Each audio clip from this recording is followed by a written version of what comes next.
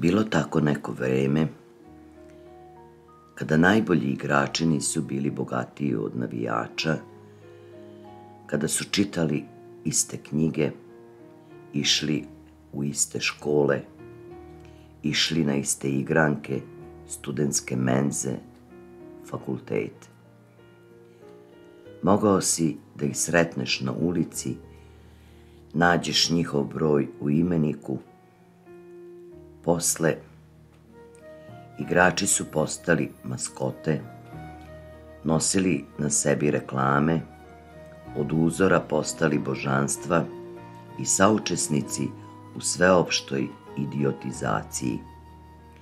Jedan od najvećih, meni najdraži, koji mi je često pred očima, iako ga nisam gledao kako igra, Duci Simonović.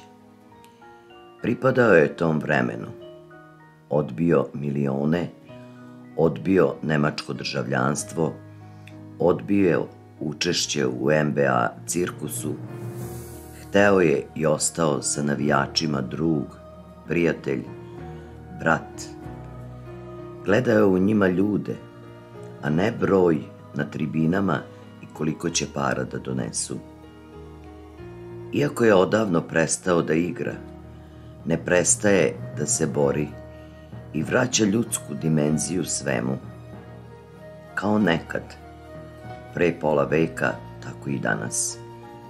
Nikad u skupom modelu, nikad na elitnim prijemima, nikad nigde gde nije narod i interesi naroda.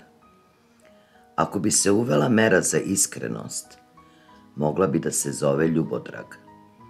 Ako bi se uvela mera za istinoljubivost, mogla bi da se zove duci. Ako bi se uvela mera za pravednost, mogla bi da se zove Simonović, ali ništa se ne zove Ljubodrag Duci Simonović. Nijedan teren, nijedan park, nijedna škola. Ništa. Znate zašto? Zato što će se tek zvati.